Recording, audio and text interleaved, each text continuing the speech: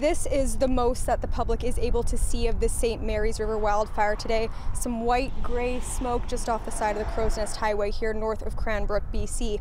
And it does look calmer than it has in some time, but that doesn't mean that the danger has passed.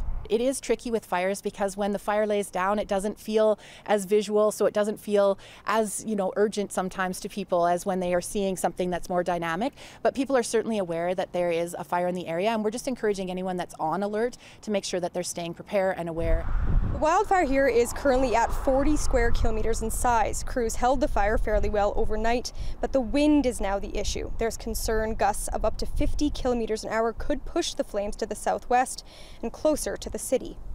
We're starting to see some of the sustained winds moving into the area, and we are expecting to see some gusty conditions this afternoon. So that is the sort of the big focus, not just for us in the Regional Emergency Operations Center, but obviously for the crews that are out in the field as well. It's a cold front that's coming in, and quite often the winds can be erratic and shifting uh, when that system moves in. So that's one of the things we'll be paying very close attention to. More than 670 properties are still on alert in and around the area around Cranbrook, and there are still 50 that are on evacuation order.